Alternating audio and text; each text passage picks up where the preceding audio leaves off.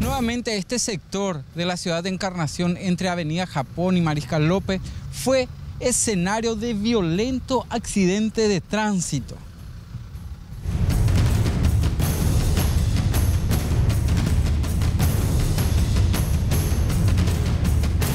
Tras una llamada telefónica a la oficina de guardia por transeúntes denunciando un supuesto hecho de accidente de tránsito con lesión corporal y daños materiales ocurrido acá sobre la avenida Mariscal López, en su intersección con la calle Presidente González.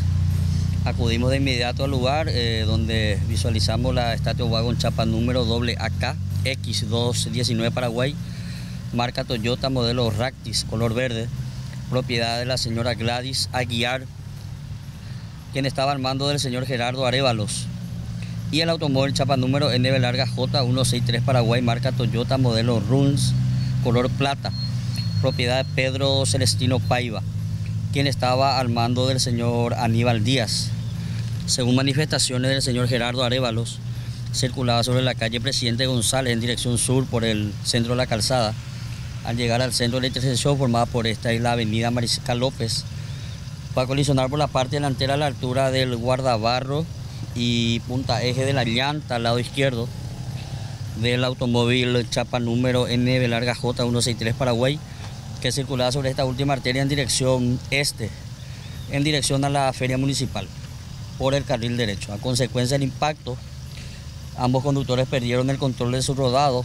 El automóvil NB larga J163 Paraguay subió sobre la vereda lado este de la avenida Mariscal López y el automóvil doble AKX 219 eh, modelo Ractis eh, se deslizó hacia adelante unos 7 metros aproximadamente. La acompañante de la Toyota Ractis, aparentemente con un menor, sufrió lesiones, fue asistido en el lugar por personal de bomberos y trasladado hasta el hospital regional para su atención médica. Así también el conductor del automóvil marca Toyota modelo Runs que también fue asistido en el lugar por personal de bomberos y posteriormente trasladado para su atención médica.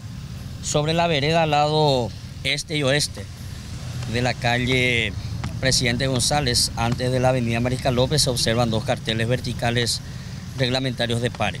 Los conductores de los rodados fueron auxiliados por bomberos voluntarios y trasladados al Hospital Regional de Encarnación para su control médico.